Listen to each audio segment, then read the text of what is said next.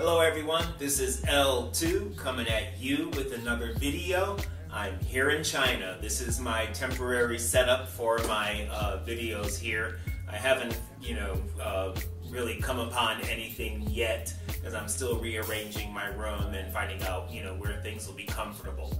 But I want to get right to it. Let's talk about a little bit of politics here. Uh, we, uh, in China here, I have a, well, yeah, of course I have a TV, as you saw in the last video where I gave you a tour of my room. But I have uh, CNN and I also have HBO and then other Chinese channels and I think one or two English channels more. But, um, you know, more on that later. But anyways, I always watch CNN and it's one thing I just wanted to make a comment about where uh, the floods in Louisiana, you know, my prayers and thoughts go out to people that were affected to that with all of that. But also, you know, Donald Trump making his trip down there, but then criticizing Obama for not immediately going down to Louisiana to visit the, the people that were affected by all that flood. You know, it, it's it's. I read an article that explained it all. Would be really senseless for him to go down there because of all the security that he would need in order. You know, that just goes along with being president of the United States. You know, it would take you know police away from first responders and all those people that are helping the flood victims, taking them away to provide security that is protocol for the president. So Donald Trump didn't really think about that. He's criticizing Obama for not going down there immediately, but Obama, you know, I think has some forethought about it, saying that if he went down there, it would take away from the rescue efforts that uh, the people in Louisiana needed. So I'm, I'm just going to leave it there at that with Donald Trump. You know, believe me, I may be in China, but I'm keeping up on all of here. the politics. I've met a lot of people from different countries. I've met uh, teachers from Wales, teachers from Australia, uh, teachers from Korea, teachers from Canada, you know, and they're all asking, you know, and I even try to get their opinions on what they think of the politics going on in the United States and you know they just think it's a circus just as much as I do. You know, and there I have not met one teacher yet that is a Trump supporter. You know, they just don't know how it's going to be working here in the United States. So, just to give you that little bit of information. And now about some of the things I'm doing here in China when I had, uh, well, before I even came here and I was visiting the website of the school, they had this wonderful picture of all these different colored, uh, I think they're ceramic cows, you know, that were life size, you know, planted around uh, the entrance part of the campus. And so I took a walk looking for them and I couldn't find them. And then all of a sudden I was taking a walk one other day and I stumbled upon them. And they were all in a different area because of the uh, construction that's going on on the campus. There's extensive construction going on on the campus where they're paving new roads and everything like that. So they had to move the cows. they moved the cows. They, they had to move the cows. That's funny. Anyway, they had to move they had to move the cows to a different location so that they can complete the construction on the campus. So here's a little video on that. Just a little bit, I was out taking a walk this morning and these are the cows that I saw in the website and I was wondering where they are.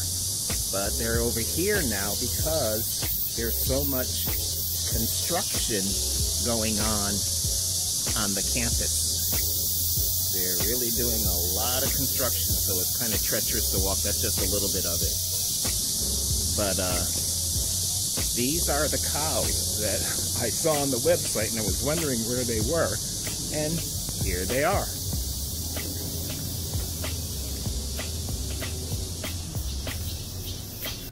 And then about a day later, I had, you know, as I said, I have met some uh, teachers from different countries and from the United States and everything. And um, there was this talk about this little bar that was right off campus that was uh, uh, started by a um, um, that was started by a teacher that used to work here, and her and her husband you know, started it, and it was a place for teachers to unwind. So we were trying to walk. There's a little village that's right outside the uh, campus, and it kind of reminded me of Mexico when I was going through uh, Cancun or Zihuatanejo on my first video. But anyways, it kind of reminded me of that. But it was such a off the beaten path bar that we were trying to find it, and we were just walking around the village. So here's a little video of that.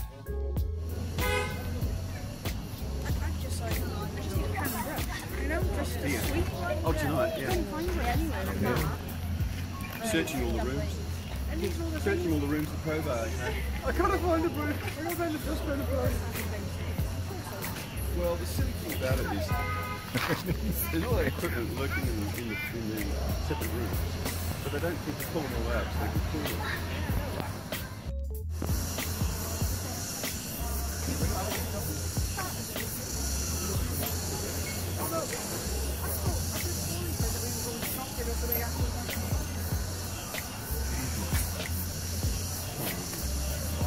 them. that one.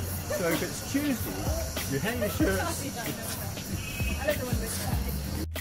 And as far as the educational portion of it, um, I have uh, started meeting with some of the other teachers. Uh, I think I remembered previously that I said I was going to be a fourth grade homeroom teacher, but come to find out after all the meetings, I'm going to be a sixth grade homeroom teacher. So I've met the other teachers that I'm going to be working with, found out what classroom I'm going to be in and everything, and got the chance to set up my classroom. So I'm going to be showing you in this next little clip um, my classroom before I met the new students. They had a, a, a section of time or a, a period of time where all the new students to the school came up to visit the school, uh, visit the dorms, get their uniforms, and visit their classrooms and everything. And we had a class of 13 students. So this is a little video of my classroom after I had set it up, before I had met the students, and then the part after I had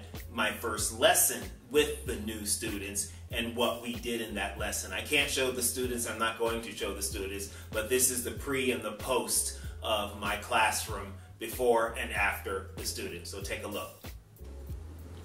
Just wanted to introduce you to my classroom. I set some things up. I'll be having my first class of students, Inquiry B. We're doing the IB curriculum. And um, I'll be, we have new students just today. So I'll have about uh, 10 new students on here. So it's a nice classroom. I had to put up those blue paper on there because, you know, the walls weren't all that uh, nice. And they suggested I do that. So the air conditioning system, that's the purifier right there.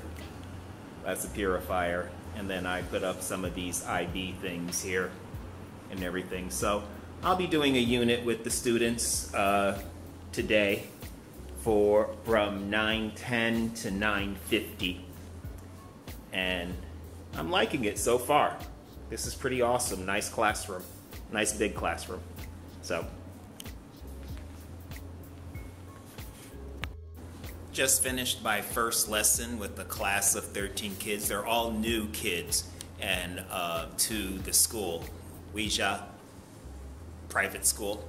And uh, so I did this thing on the back on the board with them where, I don't know if you can see it, focus, focus, focus, but um, that's their names right there. And then I asked them what they liked personally and then what they liked at school. And they were all telling me. And then uh, to get them, it's uh, the lesson was an inquiry lesson uh, according to the IB, and so I found out about them. I told them a little about me, that I was from Austin, Texas, and then add them tell a little about themselves, and then ask each other why they like. Like um, one student up there said they like to eat, and then they like restaurants, as you can see right across from each other. I think that was the first student, Ivan. He says he likes to eat and he likes restaurant. And then I had like Mark ask Ivan, where's Ivan? Why he liked to eat and why he liked restaurant. So just a little bit inquiry and letting them know. They speak better English than they think they do. Uh, when I was talking to them, uh, I, one of the questions was, who speaks English?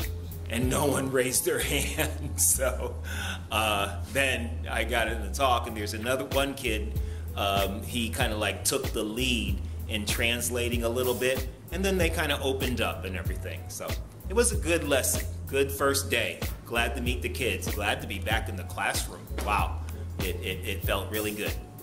And today we got the opportunity to take a bus trip to a mall that was maybe about uh, 45 minutes to an hour's drive uh, from the campus where there was more of a, a Western um, um, shopping mall that we could go to to get some items that you know you might not be able to find here on campus or in the next little town. Uh, there is a Walmart here. It's a three-story Walmart, but it, it's pretty crazy. I'll have to take the camera out and, and do a little videoing of, of vlogging of that when I go there next time. But we got on the bus um, and there were about maybe 15, 15 people, that 15 teachers that went on this bus. You know, we went there early, had some lunch, and then did some shopping, uh, and then came on back to the campus. So uh, this is just a little video of uh, the bus ride up there.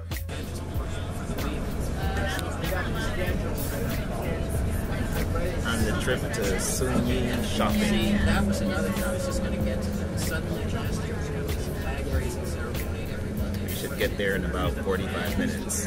You know, it's a Chinese thing. They raise the flag.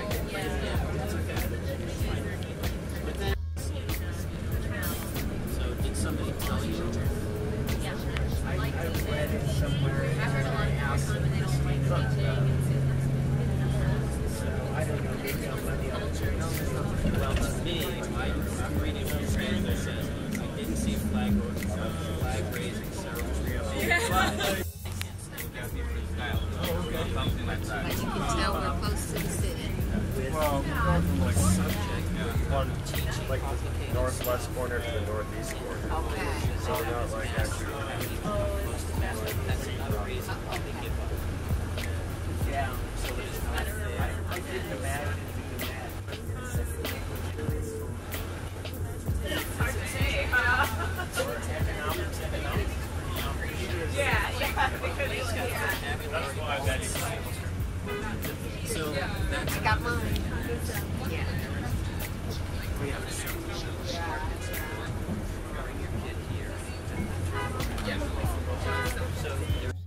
Thanks for watching the video.